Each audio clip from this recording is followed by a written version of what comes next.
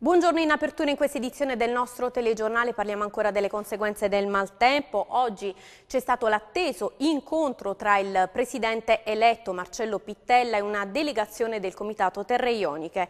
Una task force che coinvolga tecnici e dipartimenti competenti per una rapida mappatura dei danni ed una verifica nelle casse regionali sulla presenza di risorse da anticipare per situazioni di estrema emergenza. Queste alcune delle proposte emerse, vediamo quali sono le altre nel servizio di Teresa Fabbricatore.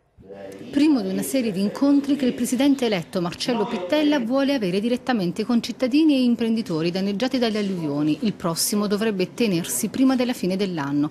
A questo si aggiunge la necessità per la Regione di esercitare una pressione costante sul fronte politico-istituzionale a livello centrale ed europeo, anche se la partita fondamentale in termini di risorse economiche immediate si giocherà nella prossima conferenza Stato-Regione, non prima di aver ascoltato il presidente del Veneto. C'è una proposta che fa la Regione Basilicata di rivisitazione dell'articolo 45 della legge 99 del 2009 che eh, sul famoso nota ai più bonus, come bonus carburante ed è una, una, una, un emendamento di modifica che, che restituisce nella sostanza alla potestà delle regioni le risorse che le regioni stesse producono e che alimentano quel eh, tesoretto in modo da consentire alle regioni sostanzialmente di avere quelle necessarie disponibilità economiche che in una fase come questa, per esempio di grande emergenza non solo sociale ma anche